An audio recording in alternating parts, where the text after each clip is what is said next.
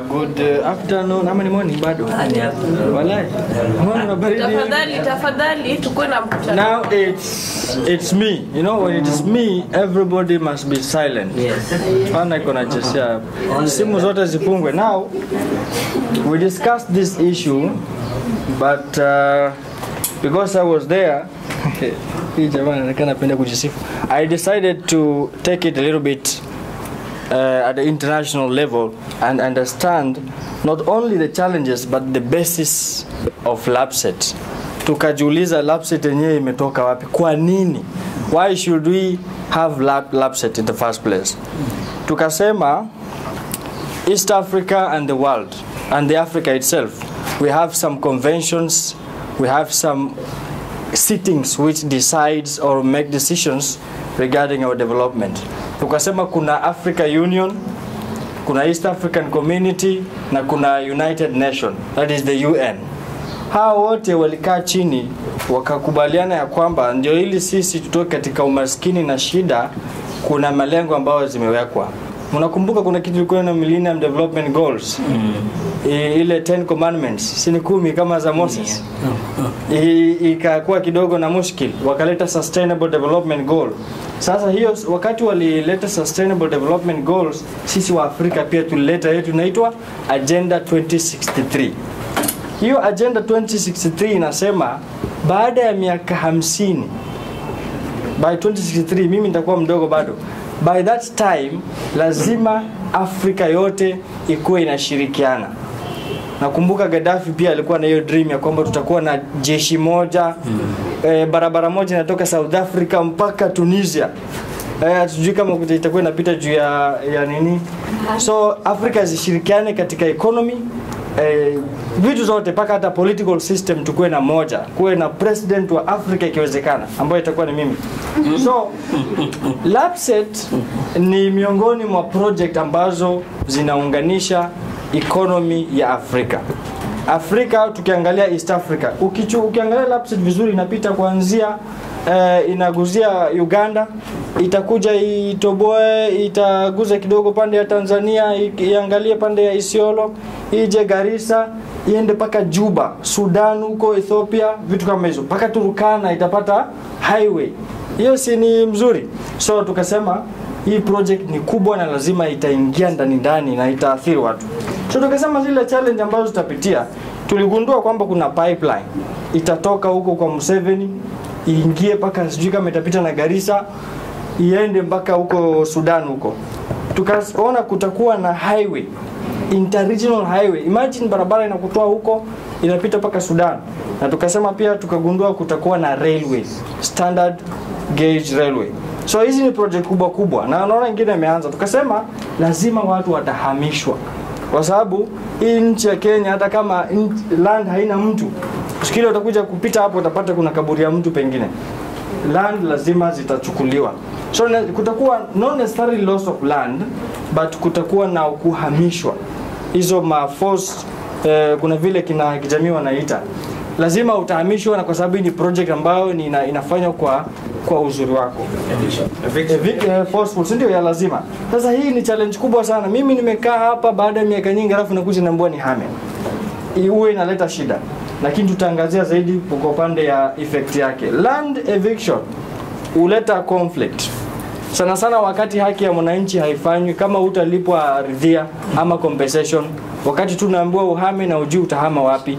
Unaweza kuwa ulikuwa mahali mzuri utolewe upelekwe mahali ambao kwenda sisi utopelekwe mahali ambao kuna kabila ingine hawakutaki wewe.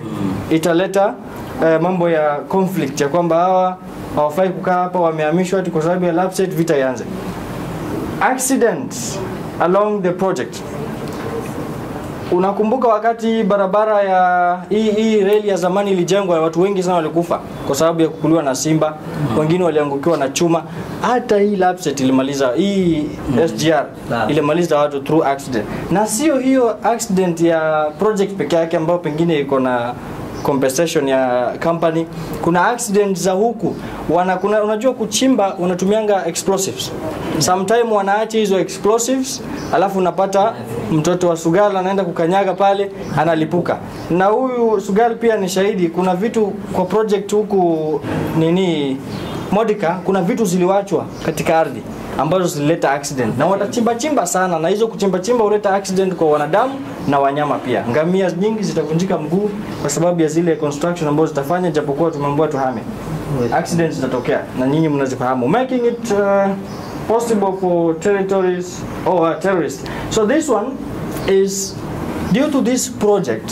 Kuna baadhi ya wale ambao tulikuwa nao walisema itasababisha wale maharamia na materrorist wapate njia nzuri, kwa sababu watakuwa wametengenezewa highway ya kuingia sasa hata wao. Mm.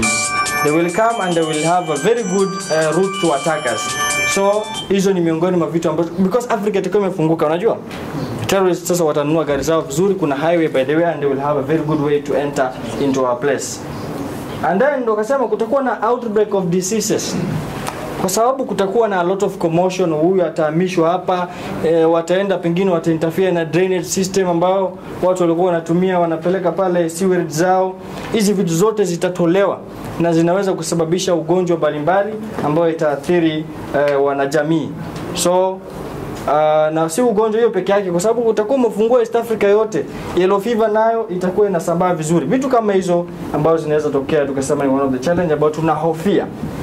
Uh, kutakuwa na hii imetajwa hapa wildlife and animal conflict, conflict. Mafisi watakuwa free because you can imagine Boni Forest. Hiyo kutakuwa na mandege unajua zinakuja. Pengine blo blocks block itatolewa mbali iletwe hivi. So hizo makelele fisi na masimba na mandovu watatoroka.